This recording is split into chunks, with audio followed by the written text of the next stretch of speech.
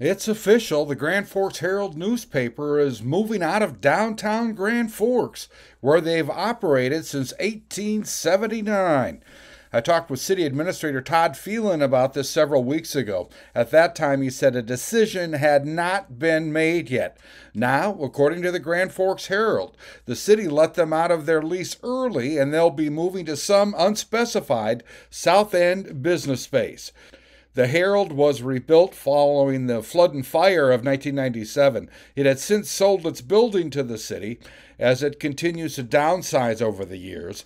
The Herald now reports they'll be moving within 60 days. I'm Neil Carlson reporting for iNewZ.TV.